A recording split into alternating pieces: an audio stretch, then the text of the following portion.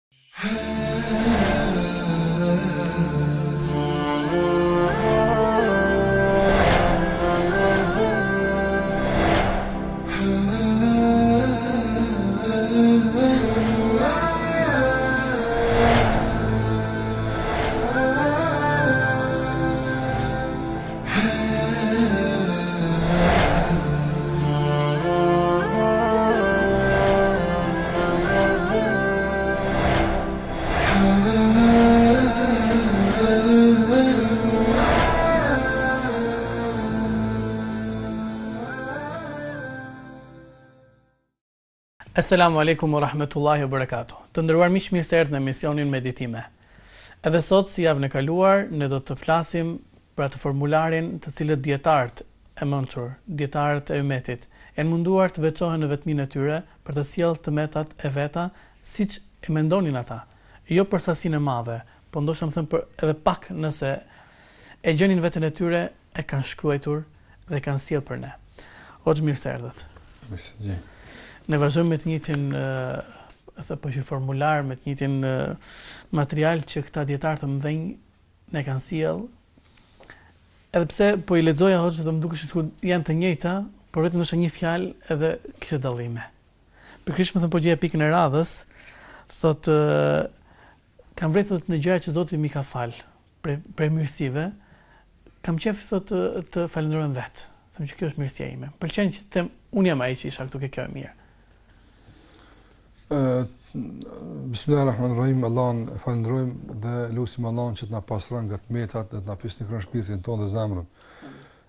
e përmende një se një gjë me rëndësi do të thotë neve na duken si të ngjashme.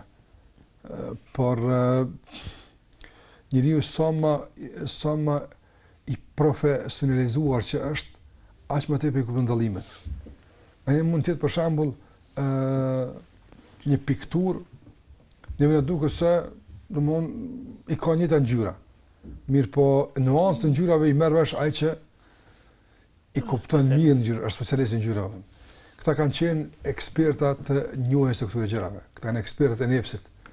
Andaj dinë të bëjnë dallime shumë precize që neve na duken vija të trasha.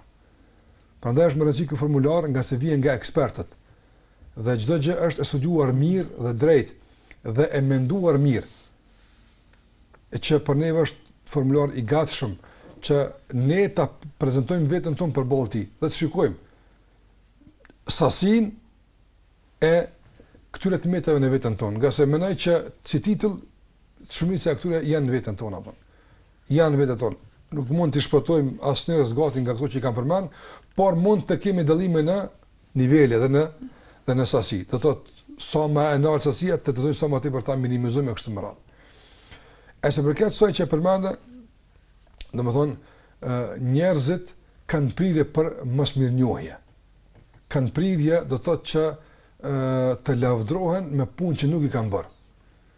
Andaj nganjëherë për shembull, ti mund t'i thuash ndokujt prej njerëzve për një punë që ti mendon se e ka bërë, por ai s'e ka bërë, e ka bërë dikush tjetër. Të rrallë janë ata që thonë jo nuk e kam bërë unë valla ky është apo. Hesht. E kalon në heshtje e kanë sa apo. Le të kuptojmë që. Të kuptohet pasi ky po e din tash ku me ia prishë ku me prishë. Se kjo është mosmirënjohje ndaj atij që ka bërë që është lodh për këtë çështje. Dhe kjo është padrejtësi.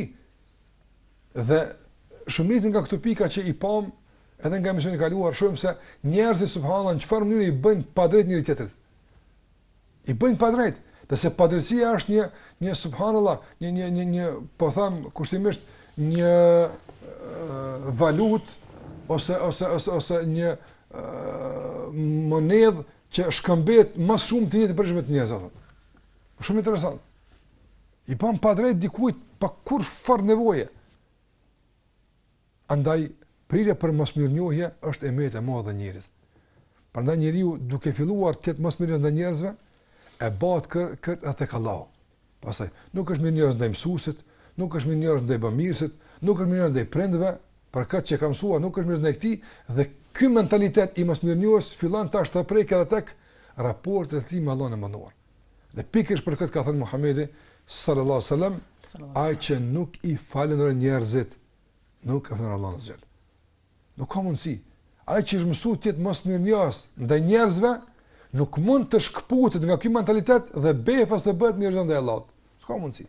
Do ta ndjekë të njëjtin kurs, të njëjtin trend. Sikurse ka qenë mosmirënjohës ndaj njerëzve, do të bëhet mosmirënjohës edhe ndaj Allahut të madhëruar. Prandaj, kushdo që na ka bërë mirë, Kushdo qoftë ai, në qoftë se i jemi mosmirënjohës dhe ia kthejmë me të keqe, do të bartet kjo e metë jo vetëm në raporte me njerëz, por do të bartet edhe në raporte me Allahun e Madhëruar.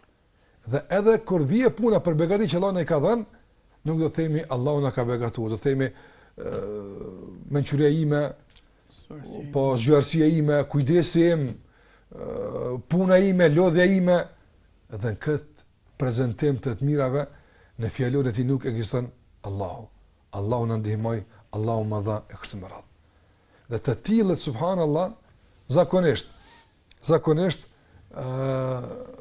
u kthehet në mënyra pastaj shumë shumë më më të dëmshme dhe më të vrashta për ta pastaj nga mosmirënjohja që ai e ka pas ndaj dikujt më larg, e që ka reflektuar me mosmirënjohje ndaj Allahut, ua dërgon Allahu xhelle shanuhu fëmijët e tyre të jenë mosmirënjohës ndaj tyre. Që ta shijojnë për së afërmi, do të thotë shëmtueshmërinë e mosmirënjohjes që ata e patën ndaj të tjerëve. Allahu na ruajt. A, do të thotë pse pse ta fshehim mirësinë e dikujt? duke tentuar t'ia vjedhim, ta marrim, po kjo është vjedhje. Kjo është sikurse me ia vjedh dikujt pulën në oborr. Sikurse me ia vjedh dikujt biçikletën. Kjo me ia vjedh dikujt në një kjo është e tij, unë e tash ia vjedh. Kjo p'ia vjedhim dikujt dijen, p'ia vjedhim dikujt mundin, p'ia vjedhim dikujt mirësinë, na po ia vjedhim dhe po ia atribuojmë kjo është e imja. Kjo është vjedhje. Për vete është e qortuar, është e keqe.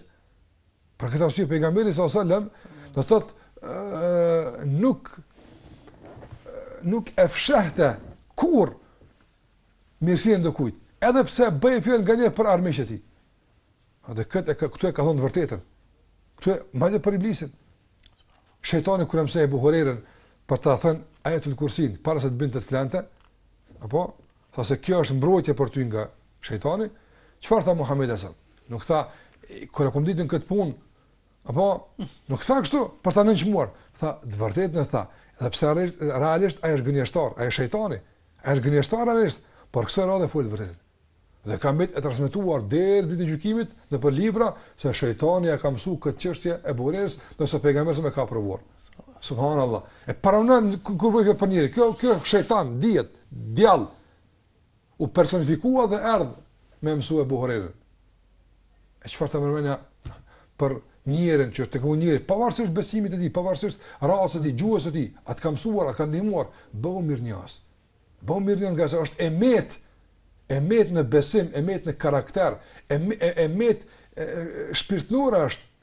Qa ti jesh mosmirënjohës? Allah na ruajt, Zot. Mirë hoxhë shkëputemi për hapsirën e parë, për t'ardhur përsëri për të vazhduar formularin tonë. Mbasi të ndjekim të përshkrim poetik, siç kemi në traditë emisionit, kthehemi për të vazhduar formularin me hoxhën.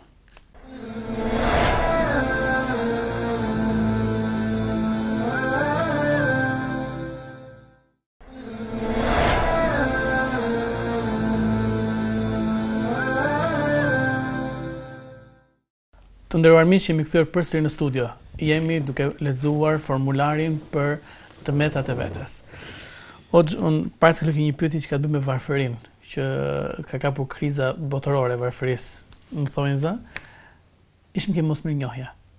Qëllon që unë i bëj një mirë të mirë dikujt thotë, edhe ai është mosmirënjohës. Dhe kjo më çon thotë t'ia përmend atë të mirë, duke thënë që shiko se unë kam bërë këtë, kam bërë këtë. Ja. Dhe harroj që pres shpërblimin ke Zoti. Ne nuk duhet të harrojmë asnjëherë atë që kemi thënë në fillim, se nefsi njeriut Me të gjitha ato anët që i kishte, të errëta dhe të ndritura, që duhet njeriu t'i fokusojë dhe duhet t'i favorizojë dhe duhet t'i shtyjë përpara anët e errëta, duke i shtypur vazhdimisht anët e ndritura, dua të them, duhet t'i japë përparësi, duke i shtypur vazhdimisht anët e errëta, nuk duhet harruar kurrë se këto anë të errëta që i ka njeriu, dëshira për lavdata, padrejtësia, mosmirënjohja, shumë të tjera që ne i përmendëm përmes të metave, po. mos të harrojmë se Këto tenton shejtani me i mobilizu kundër teje. Ai nuk ka qasje tek njeriu, se njeriu është i mbyllur. Nuk mund të futet ai në zemrën time dhe ta ndryshon mendimin tim. S'ka mundësi ta bën kët. E ka ndaluar Allahu kët. Nuk mund të futet shejtani në brendinë time dhe të ma të ma ndrron konceptin. Ta fut, ai s'e bën kët. Ai kërkon aleatë të brendshëm që i ndihmojnë, do të thotë në bashkëpunim dhe kjo është ana e errët e njeriut nefsi i tij i keq. Këto anë të errëta që po flasin për to, këto janë. Ai bashkëpunon me këto anë të errëta. Dhe shejtani është shumë i interesuar që njeriu të ndal nga çdo punë e mirë. Por në qoftë se nuk ka mundësi me këput nga punët e mira, tenton me e këput nga lidhe me Allahun. Banë mirë ti, Vazhdo me mirësi. Por s'ka lidhje me Zotin. Mirë, po jo me fitu te Allahu subhanahu wa taala. Bëhu humbës. Ti bën mirë. E kështu pastaj njeriu fatkeqësisht vazhdon të bëjë mirë, por kërkon lavdata dhe e shpenzon shpërblimin që është pritë ta fiton. Bëhet arrogant ndaj atyre që ka bërë mirë, ngase s'janë mirënjohës ndaj tij dhe kështu e humb shpërblimin. e kap vetëpëlqimi dhe ngushëllimi e kështu me radhë. Andaj gjithmonë e kemi përmendur. Nëse don drejt me kuptu, me e pa, me vizualizu këtë pamje, ktheje në këtë botë. Ktheje në në në në në zhvillimet e kësaj bote.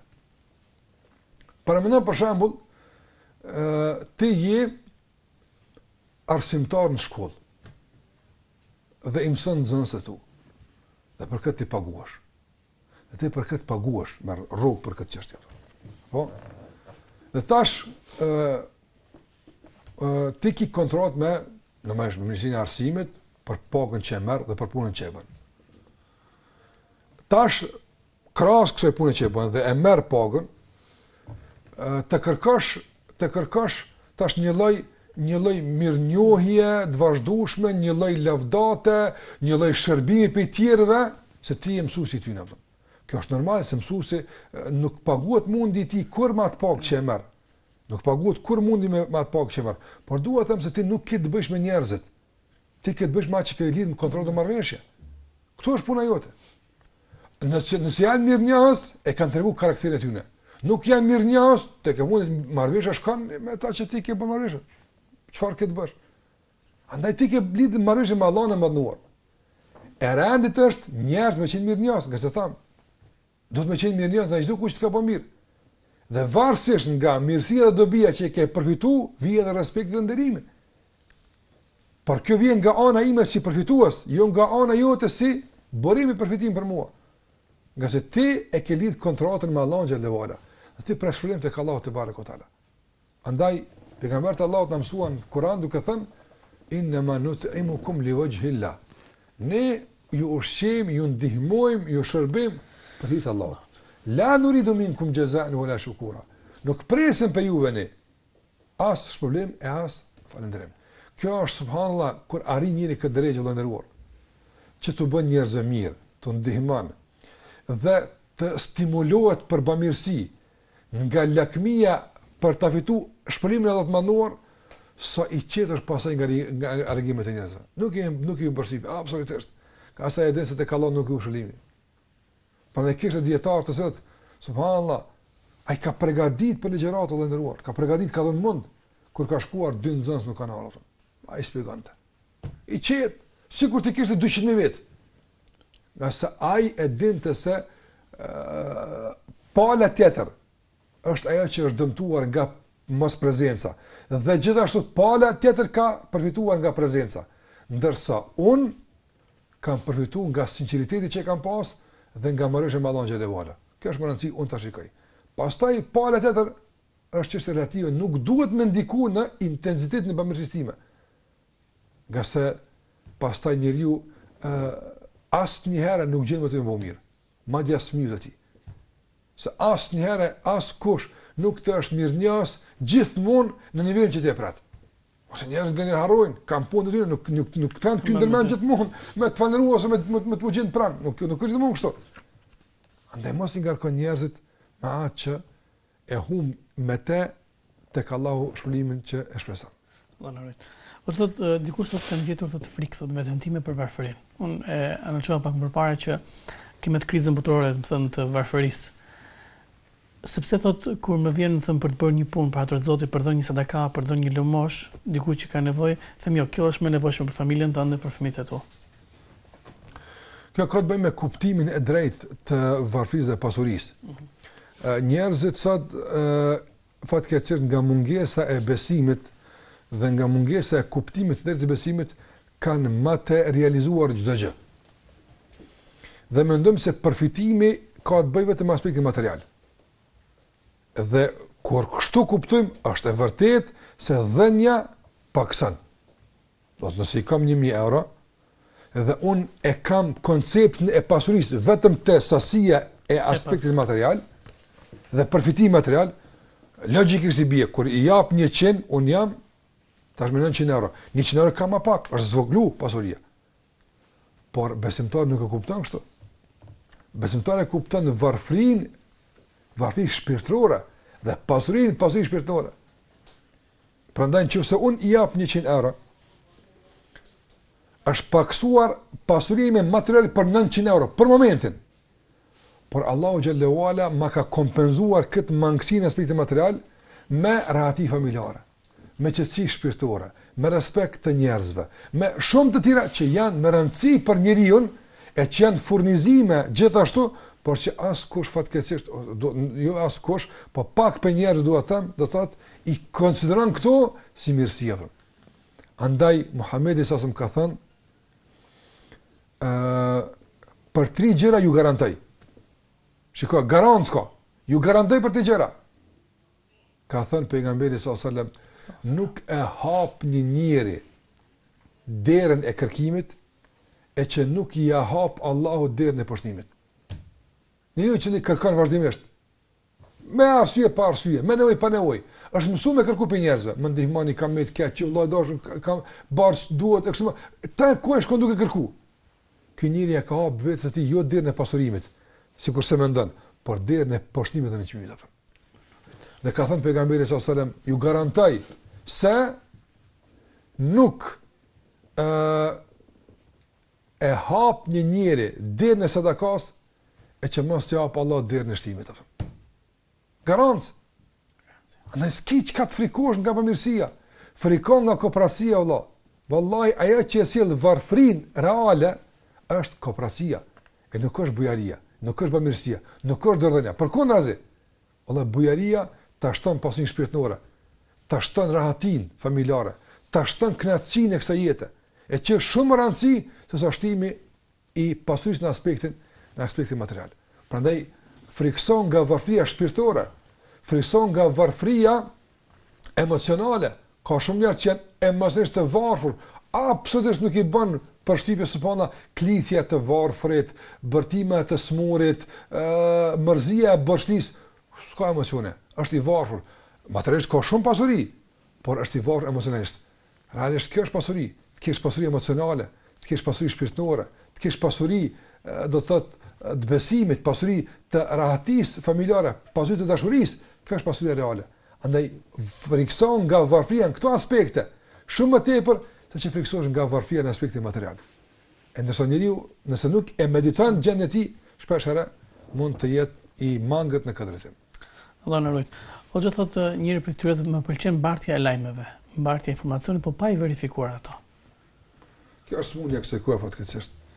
Do që njeriu nga dashuri, nga dëshira për t'u bërë i pari që ka kuptuar një lajm për të për t'u bërë para njerëzve se unë kam apshe, kam burime të informimit që ju nuk i dini, kam njerëz thjesht për t'u lavdëruar. Nuk e ka me rëndësi pastaj ai lajm a është i vërtetë, a nuk është i vërtetë, a është i dëmshëm, a është në llogari të dikujt për ta dëmtuar e kështu me radhë nuk e shikon këtë çështje. Andaj ne duhet ta, këtë ta kuptojmë se nuk është me rëndësi a je i pari apo i fundit, me rëndësi është a është e saktë apo nuk është e saktë. Me rëndësi është a po i bën dëm dikujt apo nuk po i bën dëm dikujt. Në kësi, nuk bën askujt me i bë dëm. Prandaj, besimtari verifikon lajmet, pastaj i përcjell ato. Dhe përcjell atë që i përket. Nuk merret me çdo lajm që nuk i përket, nuk ka të bëjë me te. Po, hoxhë, gjithashtu thotë që herë pas here, më joshin epshet dhe komoditeti të cilat sot, më së paku në kohët tona, me thënë janë të shumta, përballë disa obligimeve që duhet të jenë patjetër për t'i kryer ata. Joshja nuk është shumë e rrezikshme. Mhm. Ngase deri diku është e natyrshme. Por por dorëzimi para kësaj joshje është problematik në llogari të obligimeve. Për shembull, njeriu nganjëherë kur zgjohet me fal namazin e sabahut. Të josh shtrati, të thërret gjumi, Në llogari të braktisjes së sabahut, deri dikun është është e natyrshme për njeriun, ngase njeriu është i tillë, është i dobët. Apo e tërheq pushimi, e tërheq rahatia, por të gjunjëzohesh para kësaj thirrje, e kjo është e metë. Apo t'i përgjigjesh kësaj joshje, kjo është e metë. Ka disa njerëz që vallahi hoxhë, dysh me për sabah, unë po çohna, po po kam vështirësi. Ani Kjo mund të jetë pozitive, se ti po e lufton këtë vështirësi, te Allahu paguhet në bazë të sakrificës. Por dua të them që të gjunjëzohesh para kësaj është e keqe.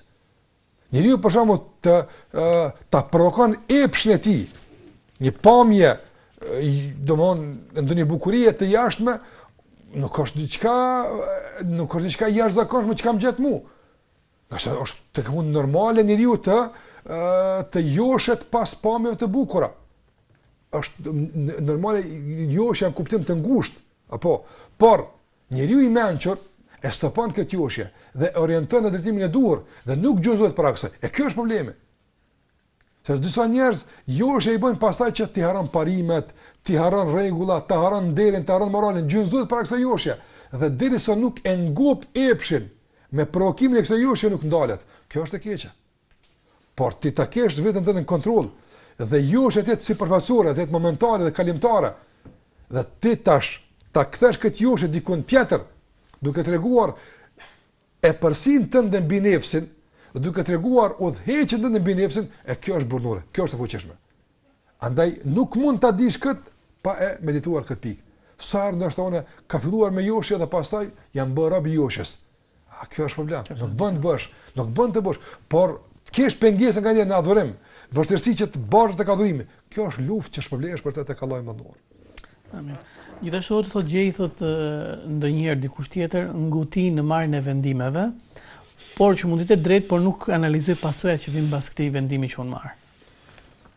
Kjo është e metë e madhe që thotë Ibn Xheuzi rahimehullah kam medituar thotë për veprimet e shumë njerëzve, të cilët e lexojnë titullin e veprimit, por jo edhe skenarin e tij.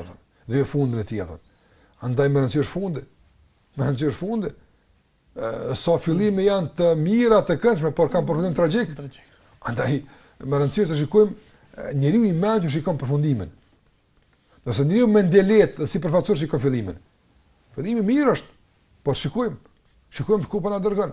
Valla jo, kjo dërgon këtu, atëherë nuk joshem pas shkëlqimit, ngase, ngase arin nuk e bën të vlefshëm shkëlqimi i tij, Apo, por përmbajtja e tij, por çmimi i tij përfundimtar, kjo e bën, ngase ka materiale që mund të shkëlqejnë më shumë se ari, por kur të përfundojnë në treg, nuk kanë kurrfarë çmimi apo. Andaj shikoje përfundimin e mallit në treg, çfarë çmimi ka, jo shkëlqimin e tij.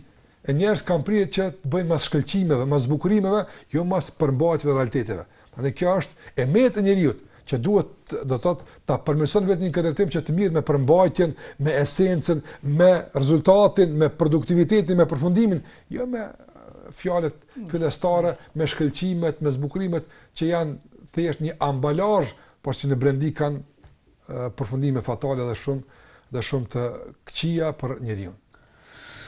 Ne do kemi ende pyetje hoxha, por do shkëputemi për hapësirën e tretë për t'u kthyer përsëri. Le të ndjekim hapësirën e pyetjeve dhe kthehemi për të vazhduar bisedën në formularin e Meditime rreth të metave të nefsit.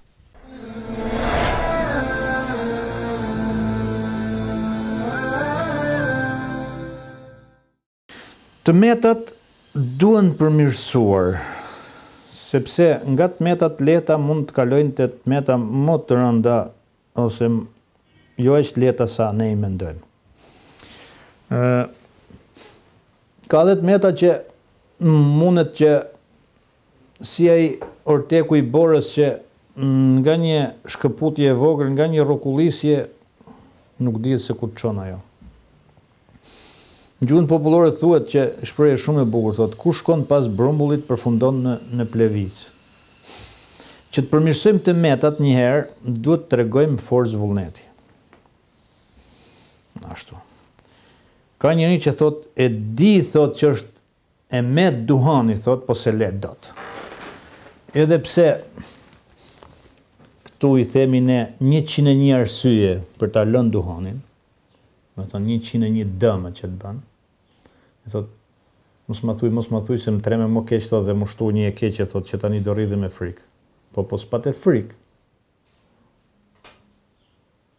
Kur thotë Imami që ta kemi frikë Allahun, do të thotë që të mos bëjmë gabimet Po s'pate frikë dhe nuk i rregullon. Pra, ne psikologët përdorim një mjet psikologjik që quhet shtrati i vdekjes. Edhe i themi tjetrit, me këtë rrugë që ti po ndjek. Supozoje një herë veten në fund të jetës tënde. Nuk ke vajtë, Po supozoj. Çfarë do bëje, do qaja thotë për kohën që po e harxhoj kot. Bukur. Do qaja pse piva duhan shkurtova jetën time. Do qaja pse s'bëra më shumë, tjerë patën mundësi më pak bënë më shumë. Unë pata më shumë bëra më pak. Do nuk po themi do qaja se po i themi si qaraman po do mërzitesha Pse, pse, pse, pse, pse i rendisim bukur. Tani thuj shiqyr që nuk je në fund të jetës dhe kthehu këtu ku je dhe bëji gjërat tamam. Se atje pastaj në fund s'ke mundësi më të kërkojsh pastaj të kërkojsh të shkojsh ti në xhenet kur e ke bërë për xhenem atje. Atëherë pra, duhet të veprojmë me vullnet, me durim e kurajo por edhe me urgjencë ndaj të metave që konstatojmë. Prandaj ne themi që të ndihmon më shumë një njeri që të tregon dhe të bind për një të metë sesa një njeri që që të kreh bishtin dhe të thotë mirë e ke.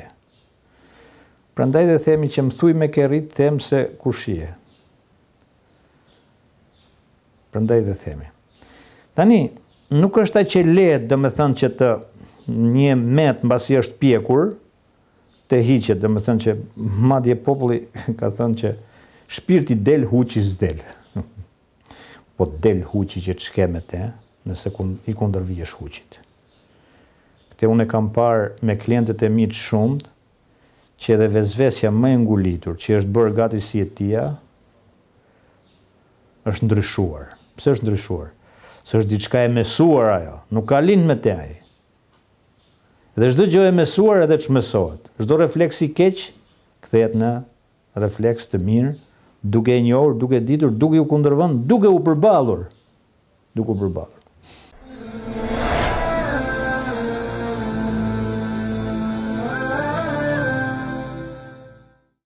Të nderuar miq, kemi ardhur në pjesën e tretë të emisionit Meditime rreth të metave të vetes.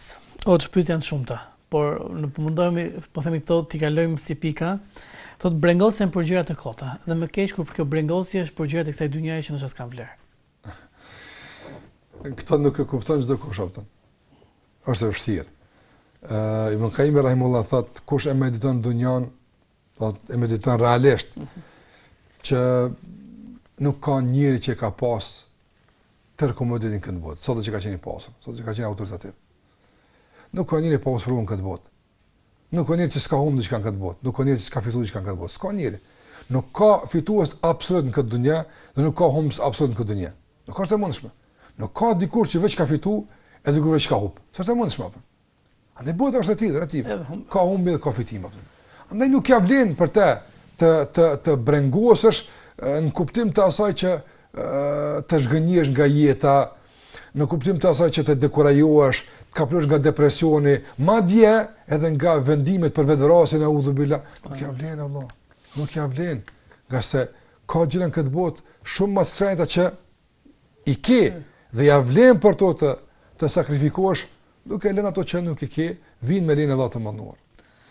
Pikë tjetër hoxhë thot nuk e gjej veten ndonjëherë, nuk përmbahem ndaj mllefit. Kjo është gjithashtu e ndërlidhur me ato që thamë edhe tek dëshira për hakmarrje, por e ka detajizu këtu dhe e ka veçu, për shkak se shumë të gjithë ne, të gjithë ne e kemi një burim të mllefit të brendshëm.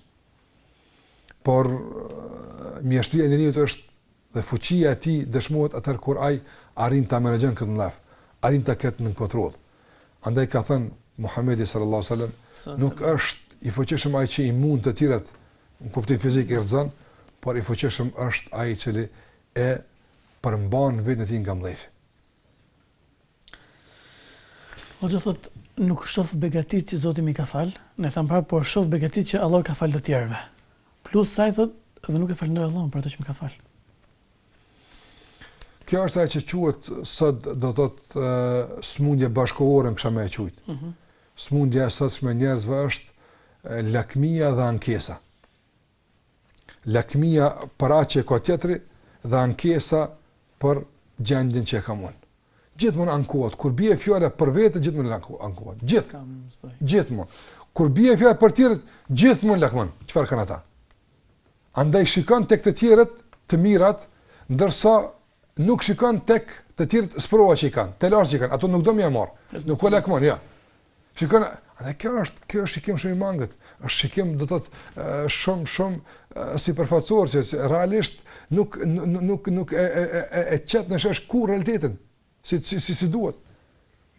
Andaj njeriu që don të jetë i lumtur në të kësaj bote. Lumturia nuk vjen nga jashtë. Lumturia buron nga brenda. Njeriu i cili din të lexon begati dhe mirësi që i ka. Apo dhe kënaqet me to dhe falënderon Allahun e madhnuar për ato begati, ky është njeri i lumtur këtë botë. Qoftë dy begati t'i ketë, edhe pse s'ka kështu, po dy t'i ketë përkatësisht, do të jetë njeri më i lumtur në botë.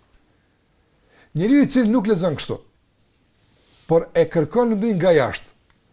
Mund të them me plot bindje, se po t'i kishte nëntëdhjetë e nëntë pikë nëntë për qind nga begatit e kësaj bote, krejt i ka, veç një i mungon, e syri që i shkon, këto i bien poshtë. Andaj të tillin ka thënë pejgamberi se kët nuk e ngop përveç dheu. Kët e ke problem me ngop, kët e ke problem me ndal në këtë mënyrë, apo do të thotë ky nuk nuk është problemi mungesa e mungesa e begative. Këtu është problem pangopësia dhe lakmia e madhe që nuk e shuan këtë pangopësi pos dheu kur bie mbi fytyrën dhe gojën e tij Allah na ruajt. Amin. Ai duhet të jetë i kënaqur me atë që Allahu e ka nda, të shikon aspekte pozitive, apo të shikon në mirësi dhe të shikon se pasurinë e atij që ti po e lakmon po ta hudh ai mbi supet e tua, veç një sprovë që ai e ka, apo do të paguajshe trefishën e pasurisë që e ke lakmu nga ai, për t'u larguar nga ajo nga nga ti ajo sprovë. Ti s'e ke atë. Ti nuk din ndoshta çfarë halle ka ai, nuk din çfarë telashe ka ai. Andaj mos shiko në aspektin e e, e, e përgjithshëm. Po shiko edhe në ato që janë të bashkangjitura, janë anekse, janë janë janë aspekte përcjellëse të jetës së tij. e që ti kurrë nuk ishe i pranuar, e pa të kënaqur me atë që Allahu të ka caktuar. Në anën tjetër thot hoxhë shoh kur më ndodh diçka e pakëndshme apo diçka që nuk e pëlqej, hidhërohem me caktimin e Allahut. Arrit deri në atë pikë thot që them sikur të kisha bërë kështu nuk do të ndodhte kjo. Këtë e ka ndaluar Muhamedi sallallahu alaihi wasallam. Ngase njeriu fjalën sikur ta kisha bërë, në qoftë se e përdor në kuptim të dëshpërimit, dhe në kuptim të asaj se ë do të kishte ndryshuar situata, ja hap me këtë derën e dëshpërimit. Ajo që ka ndodhur, ka ndodhur. Por thuaj në të ardhmen do të mundohem që t'ja bëj ndryshe, që të shpresoj të ndodhë ndryshe. Andaj mundohu të përfitosh nga e kaluara që ta përmirësosh të ardhmen. Ndërsa e kaluar që ka ndodhur, mbylle. Ajo ka marr fund. Çdo tentativë për ta ndryshuar të kaluarën në të kaluarën është dëshpërim. Por çdo përfitim nga e kaluara për ta përmirësuar të ardhmen është lumturi. Andaj përdore të kaluarën për të ardhmen, por kurrë mos e përdor të kaluarën për të kaluarën. Ngase ka marr fund, kot mërzitesh, kot dëshpërohesh, kot qan, e ka marr fund. Ka shkuar, ajo është mbyll, nuk ka pas mundësi të ndryshojë pos ashtu, por shiko çfarë mund të bësh përpara dhe të bësh në të ardhmen. Kemi një pikë që ndoshta është edhe kjo aktuale hoxhë. Kur shohim akuza nga njerëzit, apo mospajtime me ta që vin kundrejt meje, mundohem ta shfajësoj veten duke thënë ata nuk më duan se jam musliman.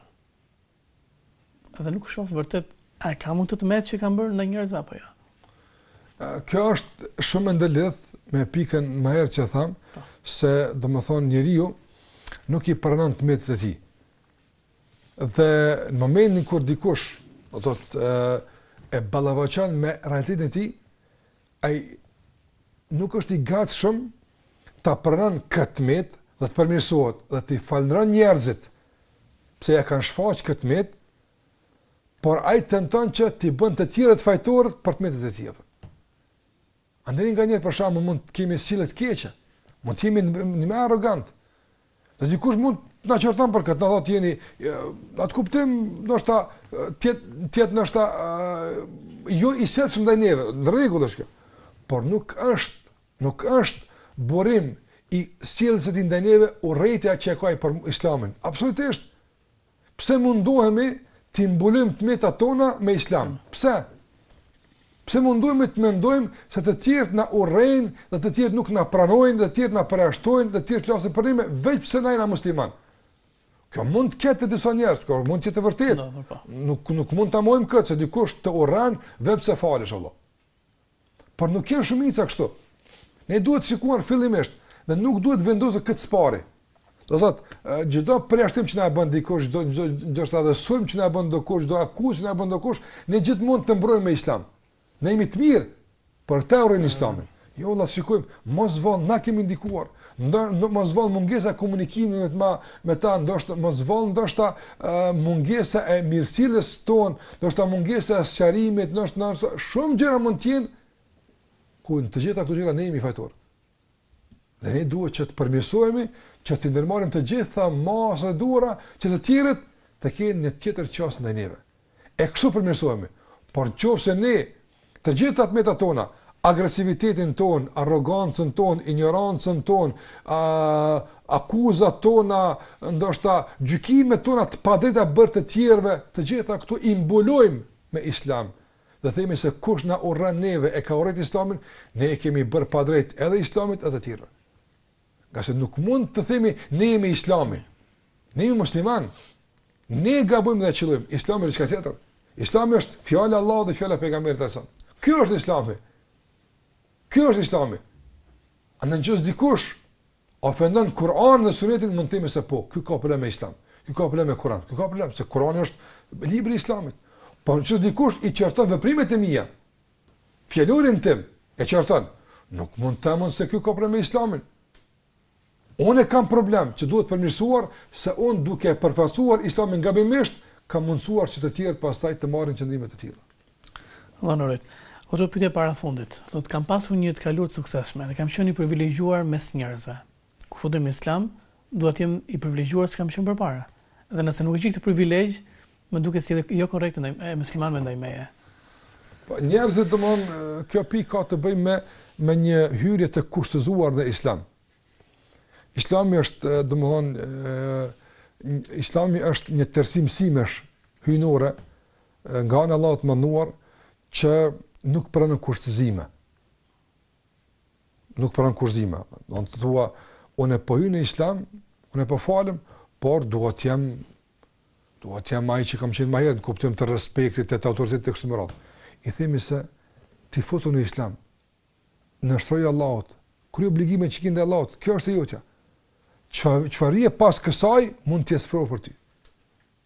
Andaj nuk duhet të jetë hyrja në islam sikurse kanë thënë dijetarët.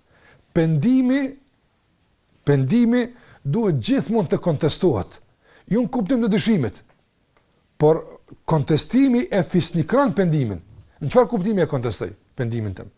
Unë jam penduar, por a jam penduar për hir të Allahut apo jam penduar për të shpëtuar qortimet e njerëzve? Për shembull i ka dhënë fund karrierës së të pamoralshme, ngase ka filluar që të zbulohet dhe mund të ndikon në familje. Dhe tash u bë musliman. Apo ky pendim nuk është i sinqertë. Ti s'je pendu për hir të Allahut, ti je pendu për me shpëtu qortimet e njerëzve. Dhe si i tillë nuk mund të vazhdosh me kualitet pastaj përpara. Ti elhamdullah që i ke ndalë të këqijat, por shko duke e përmirësuar kualitetin e pendimit, ngaqë ky pendim nuk është i mjaftueshëm me të bë një anëtar kualitativ të Islamit nesër apo. Prandaj ne duhet të shikojmë vazhdimisht, a jemi bo musliman për hir të Allahut Apo kemi dështuar në shumë fusha dhe tash e gjejmë një lloj ngushëllimi dhe mundohemi që atë që s'kemi arrit me e bë me punë tjera e dojmë me bë me islam. Atëherë kjo është një keqpërdorim i kësaj feje dhe shumë shpejt demaskohet njeriu në këtë drejtim dhe fillon që të gjen rrugë të tjera dhe zakonisht njerëz të tillë kapin rrugët ekstreme. Apo tani fillojnë që vetë muslimanët me i qërtu, ju keni deviju, ju keni bërë kështu, se e kërkon njëfarë lloj superioritet, njëfarë lloj autoritet që s'e ka pas te tjerët, tash mundot me islam me i, me i qërtu tjerët. Dhe zakonisht njerëzit që përfundojnë në, në, në, në, në, në qarqe të grupeve radikale dhe ekstreme, janë të këtillë të cilët kanë hyrë me kushtëzime në Islam, kanë hyrë në Islam për të gjetë diçka që s'kanë gjetë jashtë atij e kështu me radhë, jo për t'iu nënshtruar Allahut të madhëruar. Apo dhe pastaj shpërthejnë Mllefin e tyre ndaj muslimanëve të gjorë, duke menduar se ne jemi të udhëzuarit, ne e kemi kuptuar, por ju keni devijuar, ju jeni fajtorët e kështu me radhë. Sikurse njeriu i cili ka problem në punën e tij dhe vjen në familje, pa i bo ata faj fare, asgjë s'i kanë bërë, fillon të revoltohet në gruan e tij, t'u bërtet fëmijëve të tij, duke menduar se ata janë fajtorë. Çfarë kanë faj ata? Mos e bjerë problemin e rrugës në shtëpi, fare. Edhe ti, mos na i bjerë bërllogjet e të kaluarës në Islam, leji në pragun e Islamit dhe futu i pastër dhe pa kushte në Islam, por të na futesh me bërllogun e të kaluarës tënde tek ne dhe me dhe dhe dhe, dhe me synimet e ulta të futesh në një fe kaq fisnike, është padyshim e dëmshme dhe shumë e keqe. Pika e fundit e këtij formulari hoxhë është ndoshta ana tjetër e medaljes së këtyre pikë këtyre njerëzve që kur futen në Islam nuk i shohin më njerëzit me syrin e mëshirës, po i përbuzin, i qortojnë, Dhe nuk shohin atë që ku ishin vet, por gjithmonë me thënë i urrejnë ata, me thënë njerëzit për shkak të këtyre veprave. Ë kjo është ajo që cekëm më herët, por është pikë e veçantë për shkak të rëndësisë që ka se njerëzit thash e përdorin islamin për qëllime të ndryshme. Ka njerëz që islamin e ka e ka do të thotë mjet për të arritë tek Allahu xhele ue ala. Unë kam hyrë në Islam, nga se përmes tij e kërkoj kënaqësinë e Allahut të Madhëruar. E kërkoj të jem mirënjohës Zotit tim. E kë, e kërkoj të jem një rob i nënshtruar Allahut. Dhe shumë ka të këtillë. Por ka edhe të atillë, të cilët Islamin e përdorin për superioritet, për epërsi, për një lloj kënaqësie ndaj të tjerëve, e që është padyshim keqpërdorim i Islamit dhe padyshim ndaj të tjerëve. Andaj Kur futesh në Islam, ti je bërë një anëtar i Islamit. Ti i ke sjellë vetes tënde një siguri për shpëtuar në këtë botë dhe në botën tjetër. Kaq. Po nuk ta ka dhënë Islami të drejtën e gjykimit, kush të ka dhënë këtë? Absolutisht. Sikurse paramendon një njeri i cili domethënë merr nënshtetësinë e një shteti. Është punëtor krahu, por ka punu kohë të gjatë dhe filan shteti ia ka dhënë nënshtetësinë. Dhe pasi e ka marrë nënshtetësinë, e ka qenë në gjykatore. Apo edhe thotë, unë tash i gjykoj, po ti nuk mun me kon gjykatës, as nuk mun me kon prokuror, as nuk munesh me qenë drejtor, ti mbetesh punëtor krahu. Por të kemi respektuar, ta kemi dhënë nënshtetësinë, kaq, Edhe ka shumë njerëz punëtor krahu ke qenë, ke vazhdu me qenë punëtor krahu në islam. E i tilli shndërrohet në, në, në mësus. Nuk ta ka dhonë islami të drejtën e mësimit, ti nuk din. Ti ke mësuar veç sa për veten tënde me bo obligime, por fakti që je fut në islam, kjo nuk do se je bo hoxhë, Sikurse ndodh njerëz me shku në haxh dhe veç se u bë haxhi tash ka drejt me majt ligjërata, me dhon fetva, jo vëlla, haxhi është kryerje obligimit, e ke krye obligimin për veten tënde. Haxhi nuk të jep të drejtë me dhon me me dhon konkluza fetare. Nuk të jep të drejtë me me, me fol për fenë vëlla. Të drejtë me fol për fenë të jep dija, Jo namazi, jo haxhi. Andaj këto janë përzierje shumë të rrezikshme që duhet të ndahen mes vete, se nuk kanë lidhje mes vete. Nuk ka lidhje Islami që ti e ke praktikuar dhe fillon e praktikon me gjykimin e njerëzve. Kjo absolutisht s'ka lidhje. Haxhillëku nuk ka lidhje me imam xhamie, vëllau im. Absolutisht mund të jetë imam xhamie, kurrë s'ka shku në haxh, mundësi s'ka pas. Mund të jetë super haxhi 10 herë haxh ka shkuar, por nuk është me thon imam. Kjo është çështje që duhet me ditë si me i nda këto punë, jo me i përzi, ngase pastaj ndodh keqinterpretim dhe zakonisht raste të tilla përfundojnë me ekstremizëm të skajshëm ku pastaj nuk shohin musliman askënd pos vetes së tyre. Allahu na ruajt. Allahu të shpërbleftë. Allahu të ruajt. Allahu të nderoftë. Të nderuar miq, ë ky është një formular që na ndihmoi për saktësimin e atij formulari pyetësori që thamë në natën e errët. Shpresoj që këto të kenë qenë të dobishme. Takohemi në emisionet e ardhshme. Eselamu Alejkum o Rahmetullahi o Berekatuhu.